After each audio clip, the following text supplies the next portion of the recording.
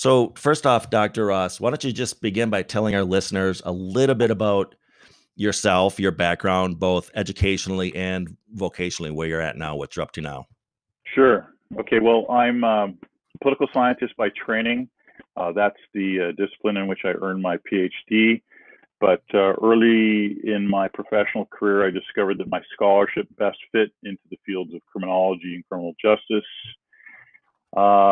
More importantly, I preferred hanging out with criminologists more than I did with political scientists. Uh, that being said, I've had a number of life experiences that made me better suited to be a criminologist. And uh, I, I, joke with people uh, that uh, while growing up, about a third of my friends became lawyers, another third were criminal justice practitioners, mainly police officers, uh, and that the balance were uh, criminals. So um, it was and has been sort of a symbiotic relationship. And uh, like the famous author uh, M. Scott Peck argued, I, I took the uh, the road less traveled. Um, so that uh, you know basically uh, describes you know my my background, um, and I I gravitated towards corrections because uh, of the following things, and and that is um, uh, I worked close to four years in a correctional facility, uh, and I swore that on the day that I left the job and uh, started initially a master's program and then later a PhD that I, would never set foot in a correctional facility in any shape or capacity again.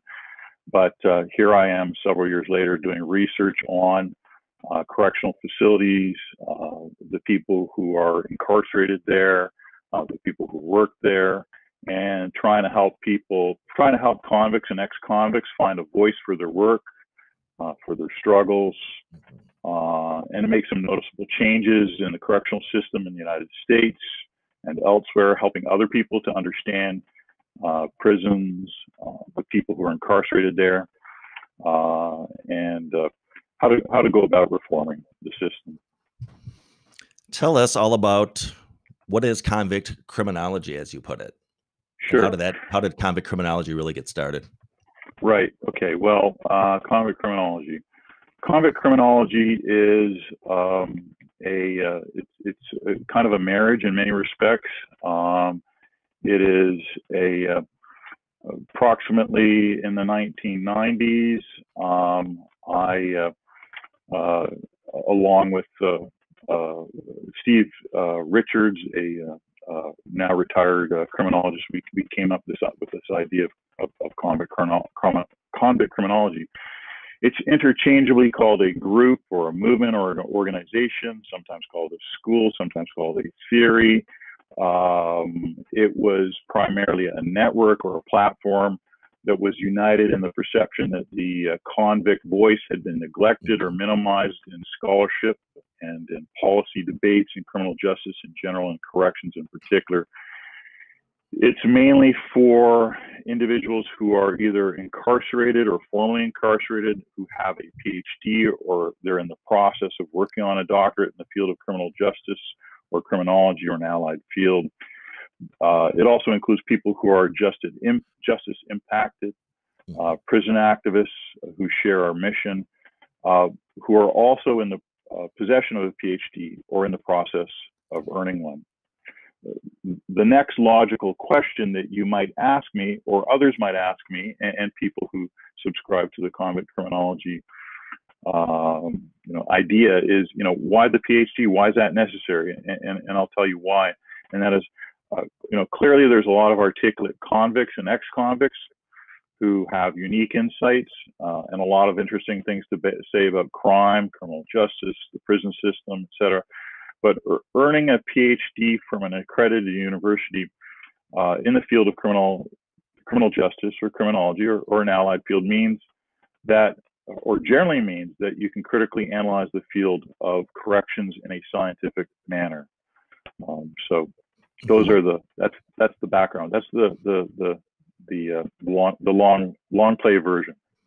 Yeah, and I love I, I, love the spirit of what you're trying to do there, what you are doing there. I, regular listeners of the show know that I I enjoy having folks on with lived experiences. in fact, just last week I spoke with a gentleman by the name of Gethin Jones over in the UK, and at a point he was talking about how and he's a desisted individual that he was on a design team for some correctional program uh, over in England and I said to him you know Gethin I've been in community corrections for 30 plus years and I don't know if I've ever had somebody with lived experiences on any design team for any project that I've ever been involved with which if you apply that to other areas of our life is just mind boggling that you wouldn't get a patient's voice or a student's voice or a or a or a customer's voice or or anything like that. So um, yeah, that is exactly. fantastic. That's a, sure, that's important. Yeah, but also to keep in mind that just because somebody has, and I, I mm-hmm. had a blog post that I that uh, uh, I uh, published a, a, few weeks back, and it, and it dealt with this issue of lived experience,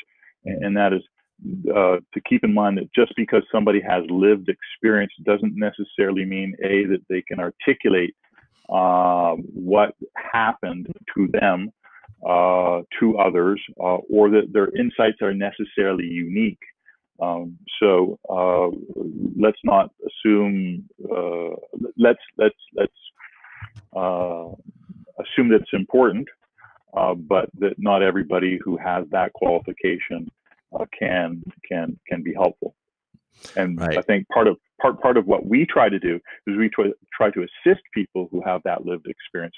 Um, you know, tap into those unique experiences that they have and communicate them to the to the wider public, particularly the criminology community. And so maybe that was an answer to my next question, which was how does convict criminology accomplish its goals?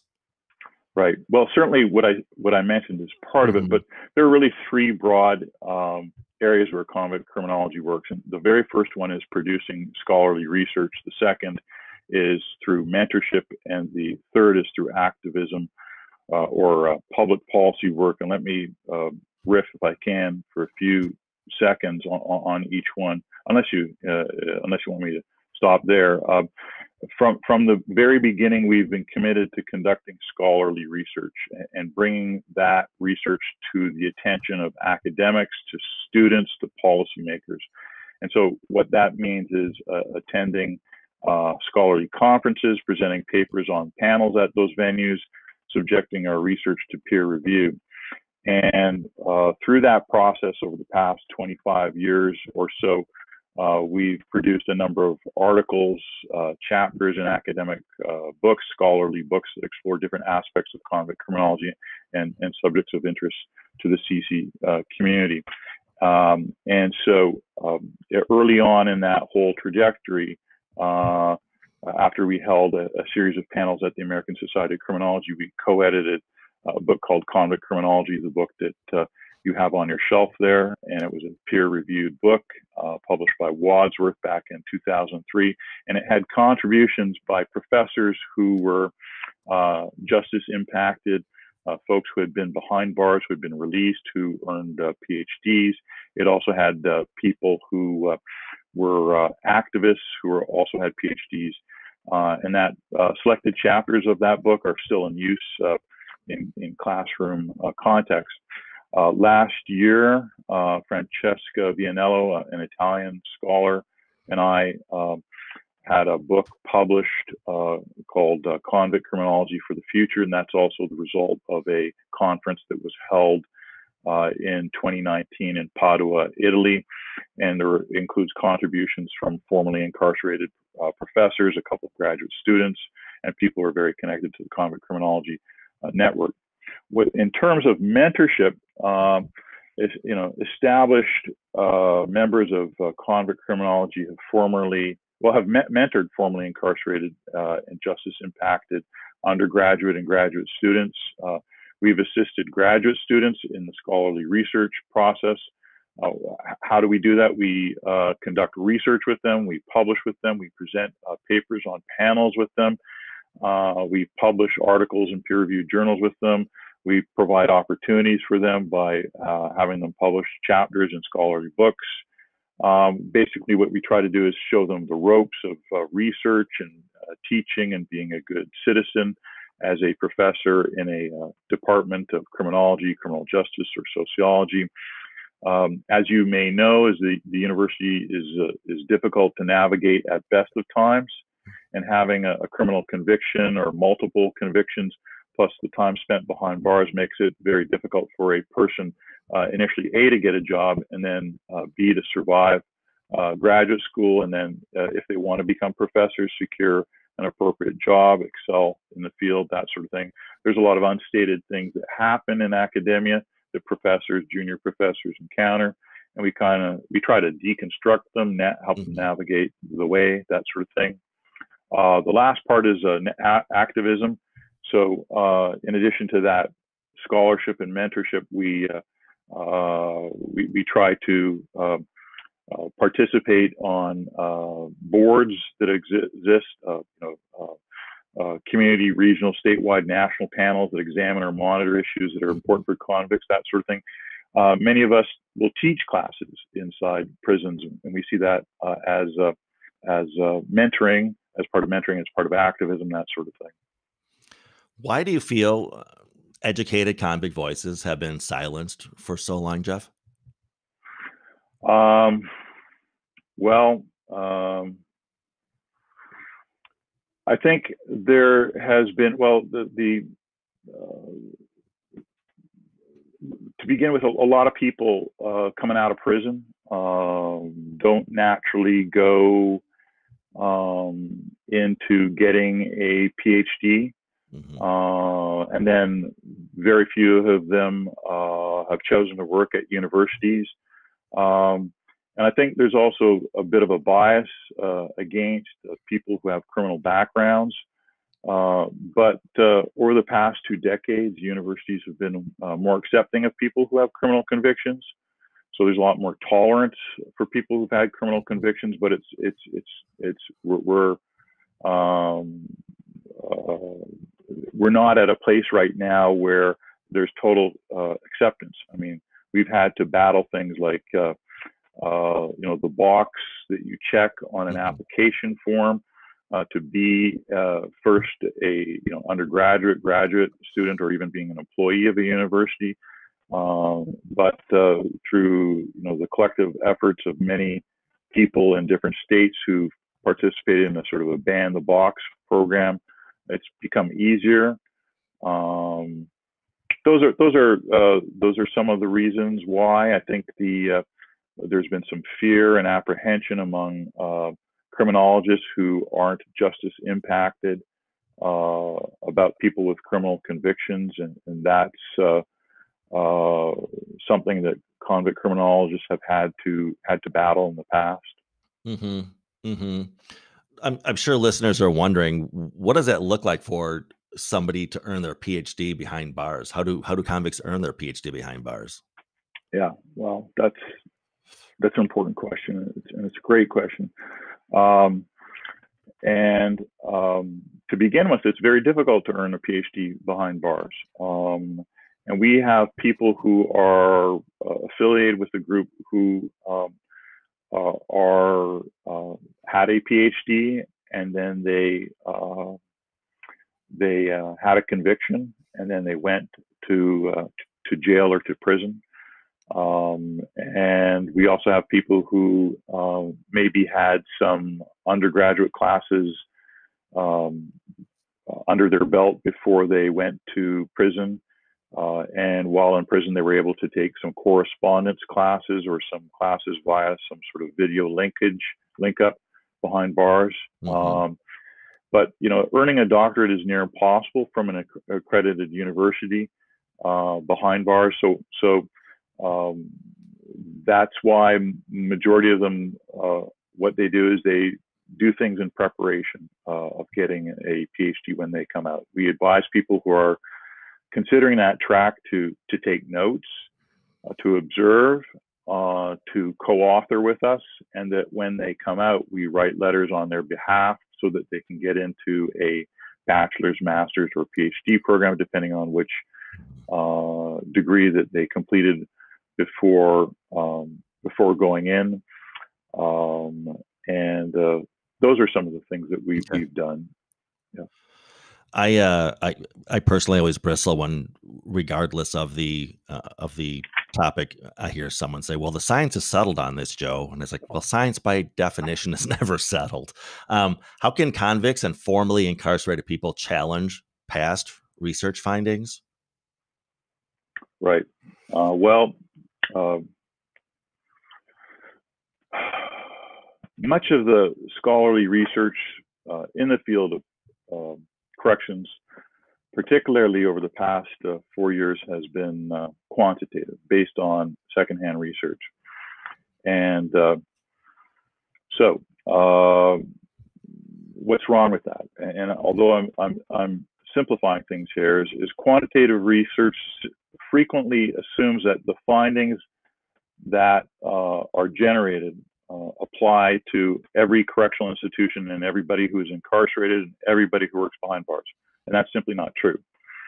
Uh, and um, quantitative research often is not understood by policymakers and the public, uh, depending upon how you frame it, communicate it, that sort of thing. And quantitative research can miss uh, subtle dynamics. It, it, it lacks the immediacy of what's going on in the cells, on the tiers, uh, and the wings of correctional facilities. So, but anyone who's done time and studied corrections for a long time knows that uh, no two inmates are the same, no two correctional officers are the same, no two experiences are the same, that sort of thing. No, no, no two correctional facilities are the same. That's why convict criminology pushes for or tries to utilize it, or let's just say the predominant kind of methodology has been qualitative research and in particular autoethnography. Now, autoethnography, these are uh, descriptive accounts that they try to get their, at the reality and immediacy of what took place behind bars uh, for the people who experienced it. Um, uh, autoethnography is not a perfect kind of research. Uh, it's not telling war stories, although some people think it is. Um, and we found that that approach to understanding convict experience has been most beneficial. That being said, is that uh, a lot of other types of methodology are now being experimented with uh, in, in, in the field.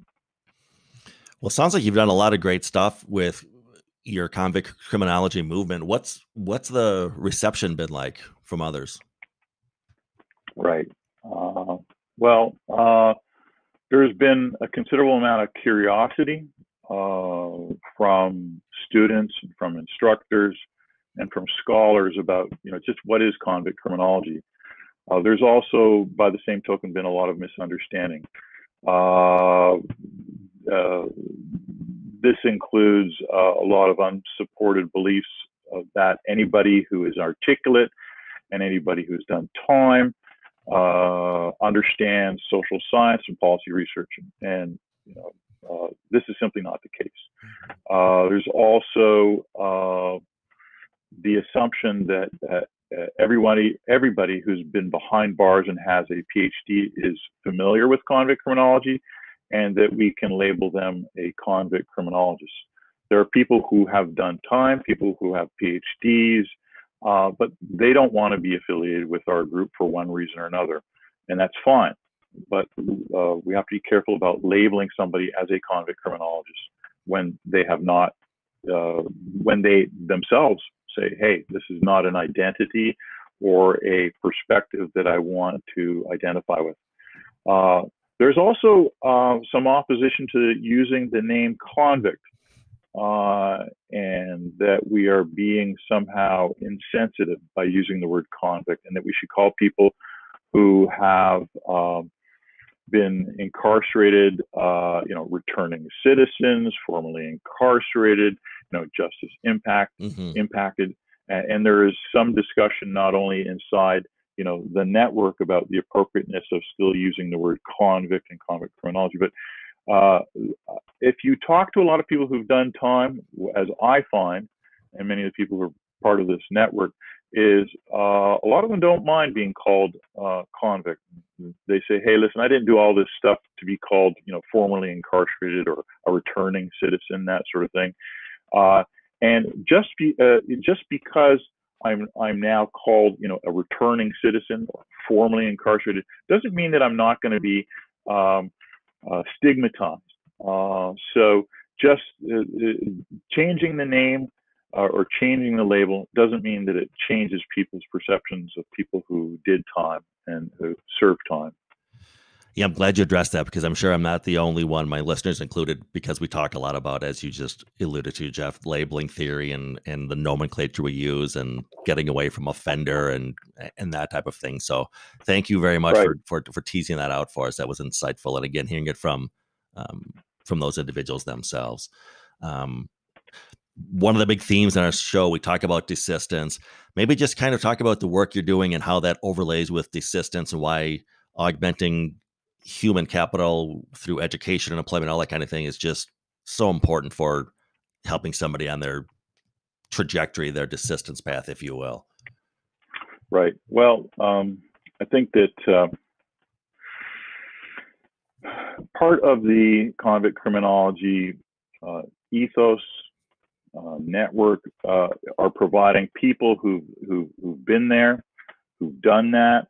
They serve as role models for uh, individuals who've done time, uh, and they can share similar experiences with people. When uh, if you can look out into the real world and, and, find somebody who who's been in a similar situation to you, uh, who can kind of show you the ropes, then it's easier for you to make that transition from, uh, you know, formerly incarcerated to current student to potentially uh, incoming you know, brand new, uh, you know, uh, tenure track assistant professor.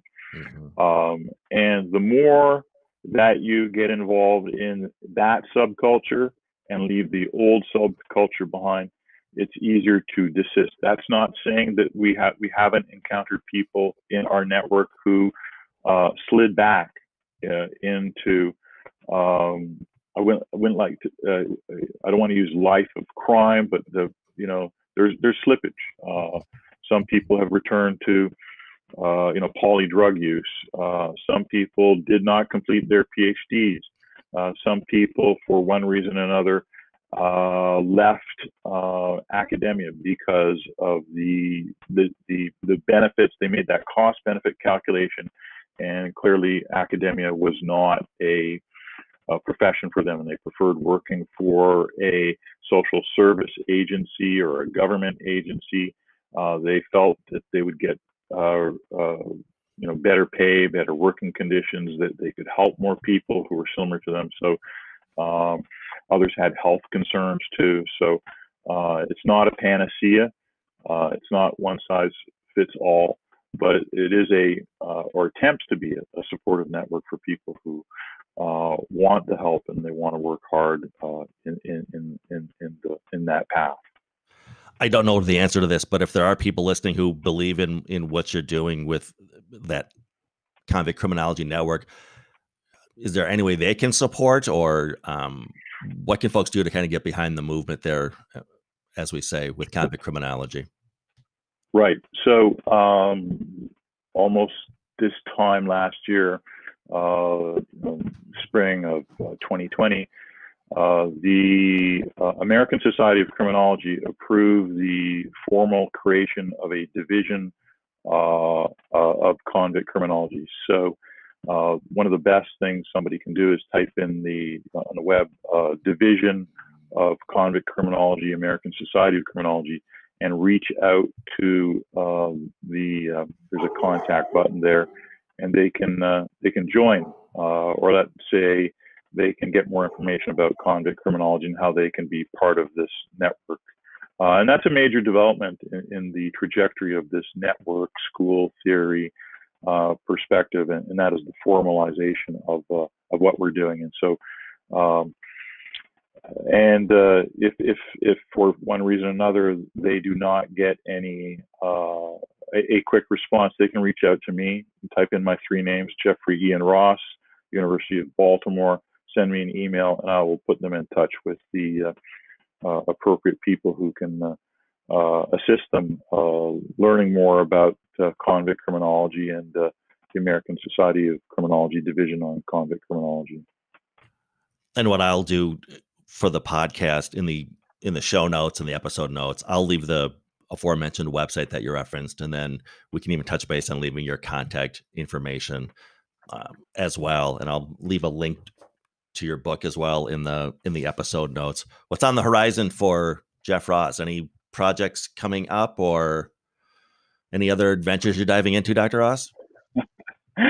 um, uh, I laugh only because yeah, I'm I'm working on a a, uh, uh, a book about convict criminology, and uh, uh hopefully that book has um, some resonance amongst a, a wider group. The, there's been two, there's been three books published on convict criminology. There's the book Convict Criminology published in 2003. Uh, there's been a sole author book uh, written by uh, Rod Earle on convict criminology.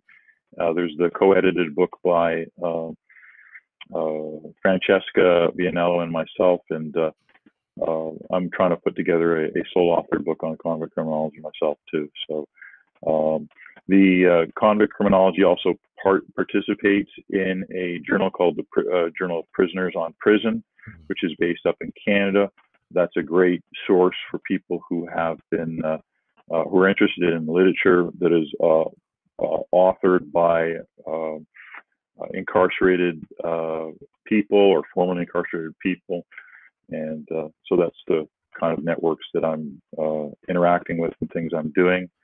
Um, hopefully that does a respectful job responding to your question. It is. It did. You have your hands full. That's for sure. Okay yeah. hopefully you'll come back and give us some updates um, with those projects. In the meantime, I'll continue to spread the gospel of convict uh, criminology. And we thank you for being on the show, Dr. Ross. It's been a pleasure. Uh, likewise. Um, just, uh, let me just say that uh, the work you do and, and the organization you represent uh, are, are, are, great. Uh, I wish more qualified people like you and organizations like yours were doing that sort of thing. Um, thanks for allowing me to share my scholarship and insights with you and your audience. Um, yeah. Yeah. Thanks for the kind words. Yeah, exactly. Just trying to get the word out there. Exactly. Exactly. All right. Thanks. Thanks again, Dr. Ross. My pleasure. Take care. Take.